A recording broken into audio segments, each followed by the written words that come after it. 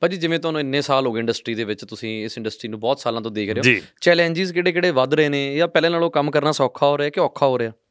ਕੀ ਕੀ challenges ਤੁਸੀਂ face ਕੰਮ ਕਰ ਰਹੇ ਕੰਮ ਤੇ ਮੈਂ ਸਭ ਤੋਂ ਪਹਿਲਾਂ ਜਿਹੜਾ ਚੈਲੰਜ ਦੇਵਾਂ ਨਾ ਉਹ ਮੈਨ ਪਾਵਰ ਦਾ ਆ ਰਿਹਾ ਦੇਖੋ।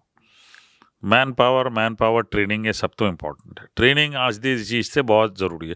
ਜਿਸ ਤਰ੍ਹਾਂ ਮੈਂ ਅੱਜ ਸ਼ੈਫ ਆ ਮੈਨੂੰ ਮੇਰੇ ਕੁਆਲਿਟੀ ਦਾ ਖਾਣਾ ਬਣਾਉਣਾ ਉਹ ਮੇਰੇ ਇਨਵੈਸਟਰ ਵੀ ਕਹਿੰਦੇ ਹਰਪਾਲ ਜੀ ਜਦ ਤੁਸੀਂ ਜਦੋਂ ਕਿਚਨ 'ਚ ਜਾਂਦੇ ਹੋ ਉਹ ਅਲੱਗ ਖਾਣਾ ਹੁੰਦਾ। ਹੋਰ ਜਦੋਂ ਤੁਸੀਂ ਬਾਹਰ ਨਿਕਲਦੇ ਹੋ ਖਾਣਾ ਅਲੱਗ ਹੈ। ਤੇ ਮੈਨੂੰ ਉਹ ਪੈਰਾਮੀਟਰ ਪਤਾ ਹੈ ਕਿ ਭਾਈ ਮੈਂ ਜੇ 100 'ਚ ਆ ਜੇ ਮੇਰੇ ਸਬਆਰਡੀਨੇਟ ਨੇ 50% ਵੀ ਬਣਾਤਾ ਨਾ ਉਹ ਕਸਟਮਰ ਵਾਸਤੇ 100 ਹੈ ਹੋ। ਠੀਕ ਹੈ ਬਟ ਉਹ 100 ਨਾ ਡਿਗਣਾ ਨਹੀਂ ਚਾਹੀਦਾ। ਮਤਲਬ ਆ 50% 30 ਨਹੀਂ ਹੋਣਾ ਚਾਹੀਦਾ। ਉਹਦੇ ਵਾਸਤੇ ਟ੍ਰੇਨਿੰਗ ਰੀਟ੍ਰੇਨਿੰਗ ਬਹੁਤ ਜ਼ਰੂਰੀ ਹੈ। ਔਰ ਮੇਰਾ ਜਿਹੜਾ ਕਨਸੈਪਟ ਹੈ ਉਹ ਆਟੋਮਾਈਜੇਸ਼ਨ ਵਾਲਾ ਨਹੀਂ ਹੈ।